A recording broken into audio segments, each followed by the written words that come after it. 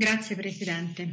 Mi scuso in anticipo Presidente anche con i consiglieri perché forse porterò via un paio di minuti in più, ma ciò si rende necessario per la natura della delibera.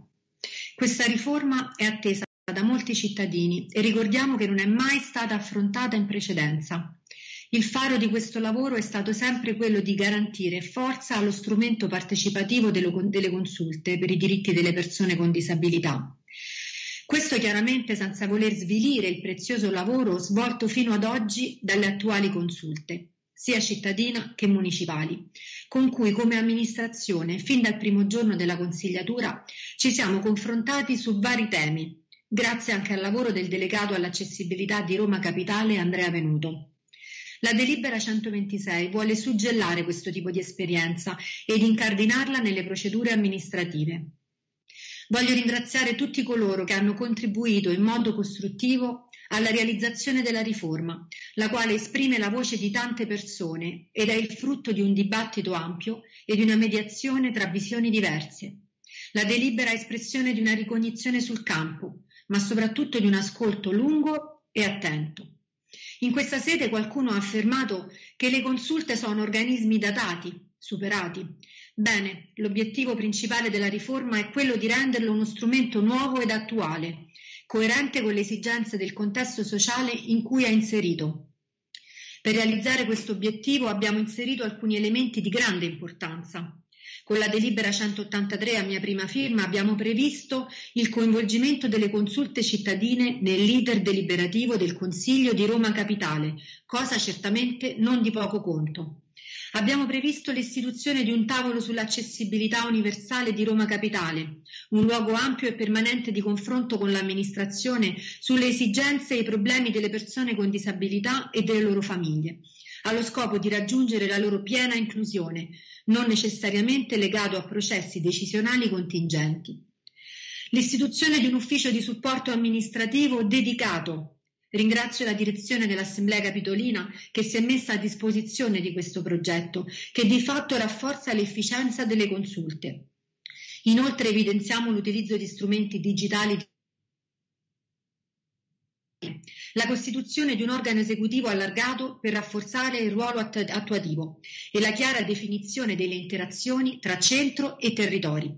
Ho dato ampie possibilità ai consiglieri di opposizione di contribuire alla costruzione del regolamento, ma alcuni di loro hanno preferito dialogare tramite comunicati pretestuosi, invece di cercare un'interlocuzione costruttiva. Mi riferisco in particolare ad alcuni consiglieri di Fratelli d'Italia, i quali inoltre, dopo aver rivendicato pubblicamente il diritto espresso dalle consulte di vedere maggiormente legittimato il loro ruolo consultivo, hanno ritenuto di astenersi sulla proposta 183 che andava proprio in tal senso. Si è tentato evidentemente di sminuire la forza politica, ma è chiaro che ciò che realmente si rischia di sminuire è l'ideale, il fine ultimo del lavoro e il sacrificio di chi, con mille difficoltà, ha partecipato a questo lavoro per ben due anni. Voler trovare sempre e solo ciò che divide e non ciò che unisce, l'ostruzionismo a priori, la superficialità nell'analizzare le proposte, sono esercizi politici a cui credo non mi abituerò mai. La realtà a cui ci rivolgiamo, già separate dalle tante diversità e ostacolate dalle troppe barriere, sono troppo spesso in contrasto tra di loro. Assicurare loro il giusto peso potrà, ci auguriamo, stemperare queste tensioni e stimolare maggiore partecipazione. Grazie allo sforzo collaborativo messo in atto nella realizzazione della riforma, abbiamo però la possibilità di lanciare un segnale di unione garantendo maggiore forza ad un obiettivo che non deve avere colore politico, dare voce alle persone con disabilità della nostra città e alle loro famiglie, nonché alle loro rappresentanze. Vi chiedo di non sprecare questa occasione. La partecipazione attiva dei singoli cittadini con disabilità o loro rappresentanti in consulta cittadina, prevista in numero ridotto e con peso limitato, ha suscitato la critica di tutti i consiglieri di opposizione cosa che risulta quantomeno contraddittoria in quanto gli stessi hanno affermato più volte di non voler discriminare i cittadini nel diritto di voto sulla base della loro libera volontà di associarsi. Ho fatto di tutto per comprendere il loro punto di vista, ma evidentemente alcune logiche politiche superano qualsiasi buona volontà. Oggi sono tante le persone non associate capaci di fornire contributi notevoli, al pari delle associazioni, Non, noi lasciamo uno spazio e un peso equilibrato ai due mondi, proprio con lo scopo di evitare fratture e separazione. Il grado di rappresentatività non può essere l'unico criterio per l'accesso, anche perché di difficile attuazione. Abbiamo preferito premiare e valorizzare la disponibilità e la competenza. La consulta cittadina inoltre deve essere indipendente dalla libera autonomia dei municipi di costituire le consulte. Concludo l'intervento raccontando l'esperienza umana positiva che ha fatto da sfondo al lungo lavoro di redazione del regolamento. Ho capito l'importanza dell'ascolto delle istanze delle persone con disabilità, delle loro famiglie o di chi le rappresenta, ma soprattutto l'importanza di metterle in condizione di poterle esprimere. Ho ammirato la tenacia di queste persone nell'essere presenti alle occasioni di confronto, superando le difficoltà di spostamento o di lasciare a casa familiari con bisogno di assistenza.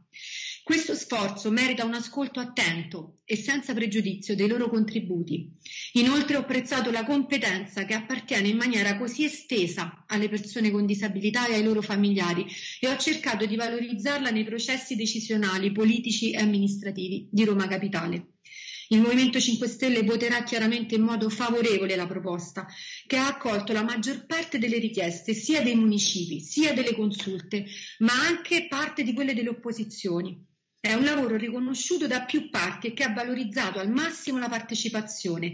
È frutto del dialogo tra amministrazione e cittadini e loro rappresentanti nel rispetto, scusate, rappresentanze nel rispetto delle rispettive competenze e ruoli.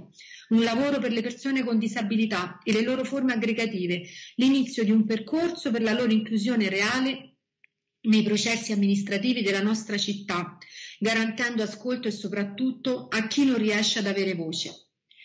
L'ultima frase, permettetemela. Spesso è difficile immedesimarsi in una realtà ancora troppo lontana culturalmente dalla nostra società.